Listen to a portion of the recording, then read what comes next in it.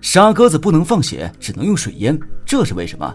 一鸽胜九鸡，这是真的吗？在市场里买现杀鸡鸭，都会看到先进行放血。店家说，家禽类先放血再杀，可以减少肉质的腥味。对于鸡血而言，营养价值不高，留在鸡内还会破坏了鸡肉的味道。但你们如果吃过鸽子，或者见过鸽子的宰杀过程时，就会发现，鸽子并不会放血，而是将其淹死，或者直接扭断脖子。这是为什么呢？民间流传着鸽子浑身都是宝，其中鸽子血更是宝中之宝。老一辈人的人认为，鸽子血留在鸽子体内，让其跟肉质结合，营养价值才能发挥最大化。将鸽子不放血，去毛之后整只炖，血液融合在鸽子肉中，营养价值提高了，汤也会更加鲜美，特别适合生病、动手术以及坐月子需要大补的人吃。这是真的吗？研究表明。鸽子血中含有铁元素、血红蛋白、蛋白质等多种成分，对强身健体和增强免疫力都有一定的效果，但跟其他动物血其实没太大的差别。所以鸽子血大补的说法就是以讹传讹。但鸽子不放血也有一定的好处。宰杀鸽子不放血是老一辈流传下来的做法，现在仍有不少人用着水淹法、扭头法来宰杀鸽子。在饭店中，鸽子是一种飞禽，若是用抹脖子放血。会惊得鸽子四处乱飞，扑腾的到处都是羽毛，不干净卫生。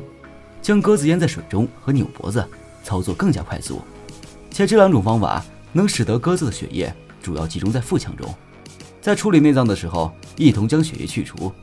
此外，因为鸽子的体型较小，血液较少，若是用宰杀家禽的方法来放血鸽子，较为费劲，放的也不够干净。对于追求速度的饭店和餐馆而言，是一种不太合适的做法。不过，不放血的鸽子比较适合做炖品之类的菜式。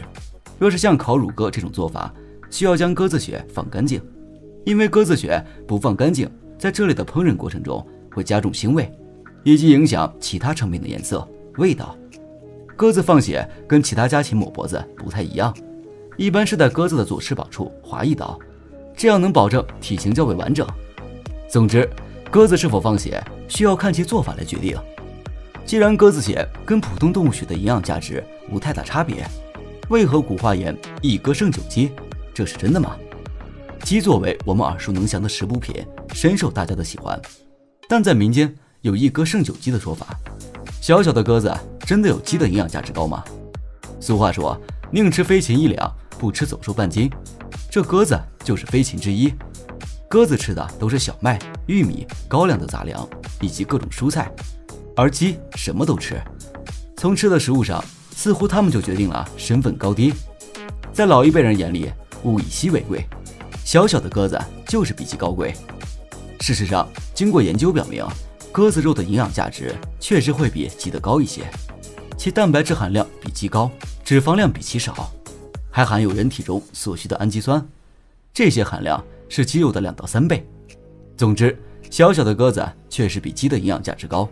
脂肪含量低，确实较为适合休养的人群食用，但一鸽胜九鸡的说法有些夸大其词。值得注意的是，鸽子属于温热型的食材，切勿过度食用，极有可能会引起上火。你们喜欢喝鸽子汤还是鸡汤呢？